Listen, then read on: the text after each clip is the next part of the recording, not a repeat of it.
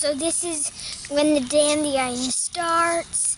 Then after it comes out, and then there's the normal after the yellow stuff, and then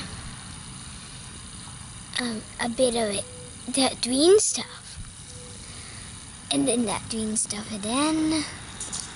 But this is getting more pokey. Ah, hey, where is it? And then it, yeah, I stuck it through, and there's the seeds. And then you these things mean it comes back to the start and makes another one. It makes more. Ah. Cool. Wonderful investigation of dandelions.